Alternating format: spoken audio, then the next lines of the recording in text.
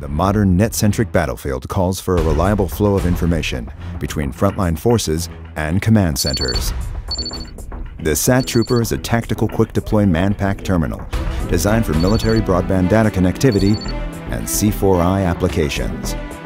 SatTrooper is a ruggedized mil-standard fully integrated terminal with auto-pointing antenna.